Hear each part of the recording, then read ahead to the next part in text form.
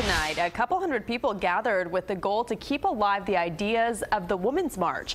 Millions turned out across the world last month, the day after President Trump's inauguration. CBS 4's Carey Codd joins us live from Fort Lauderdale. Carey.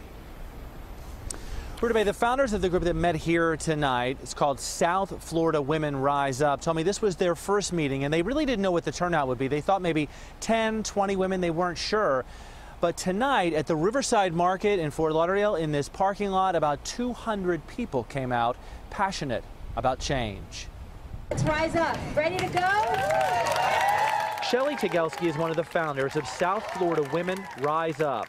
She attended the Women's March last month in Washington and decided with some friends that the movement needed to carry on. We said, okay, what do we do now?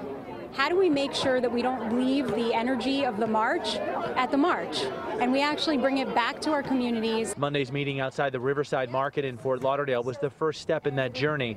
Organizers gathered volunteers and had people sign up to support issues backed by the Women's March movement like LGBT rights, civil rights, reproductive rights, and ending violence. So we wanted to be able to give people a civics education about how the local and state issues actually affect what's happening nationally and kind of bring it back home where we can effectuate change. Attendees came from all over Broward, and some said they had never gotten involved politically before until now. I'm unhappy with the way that things are going and decisions that are being made, and I just wanted to do my part and not just sit back and complain and just kind of do what I can do. We want the best for all Americans. It was a movement begun in Washington as hundreds of thousands of people descended on the nation's capital the day after President Trump was inaugurated.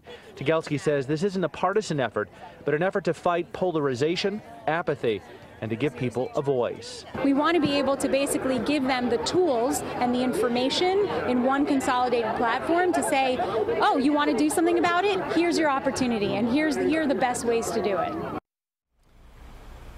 The group plans to meet the first Monday of the month. They also tell me that if people want to keep tabs on what they're doing, check out their Facebook page and like their page. Live in Fort Lauderdale, Carey Codd, CBS 4 News Tonight. Thank you, Carey.